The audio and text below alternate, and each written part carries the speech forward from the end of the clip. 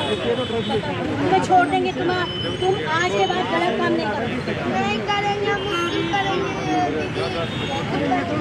School पढ़ोगी कब पढ़ोगी school? बताओ। School के पास दाम बेचने लगे बेचने लगे थे ना। अब आ गई ना बेटा बात का बात समझ में कि हाँ हम बेचने लगे थे। तो क्यों बेचने लगे थे? तुमको मम्मी ने बोला था कि बेचो बेटा ये। किसने बोला था? तुम क्यों बेचते हो? क्यों बेचते हो? बताओ क्यों क्यों बेचते हो?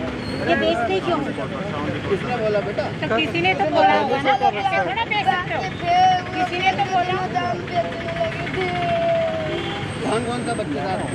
कौन कौन बच्चेदार है? नाम नाम। नाम बता क्या राजा पकड़ना चाहिए ना ये सब है। कोई वो नहीं है।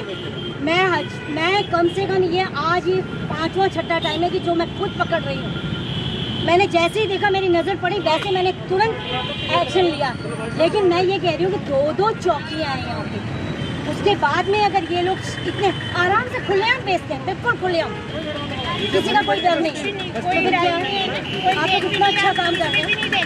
कोविड में आपने इतना अच्छा काम किया कम से कम इन लोगों को तो क्या लो मैं देख के तो सही कि कौन इन बच्चों को बर्बाद कर दिया। छोटे छोटे बच्चे ये भविष्य क्या भविष्य है?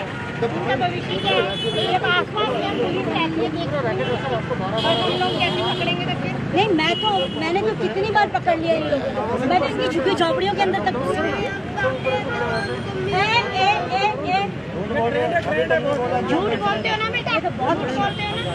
ये लोग इतने होशियार हैं इनको कितना भी दब मार लो तो कर लो लेकिन ये बताएँगे नहीं।